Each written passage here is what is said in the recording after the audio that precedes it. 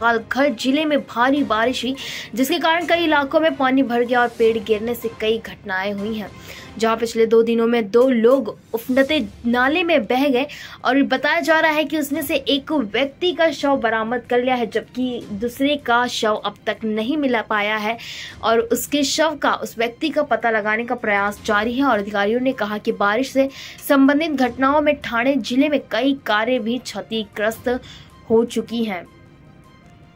और साथ ही जिस तरह से दो लोगों के नाले में बहने की खबर सामने आई है, एक का तो शव बरामद कर लिया गया, लेकिन दूसरे का अब तक कोई अता पता नहीं चल पाया है कि वो व्यक्ति अभी भी ज़िंदा है या उसकी जान चली गई है। लेकिन लगातार प्रयास किए जा रहे हैं। नाले में बहने के बाद युवक का शव कहाँ तक गया है?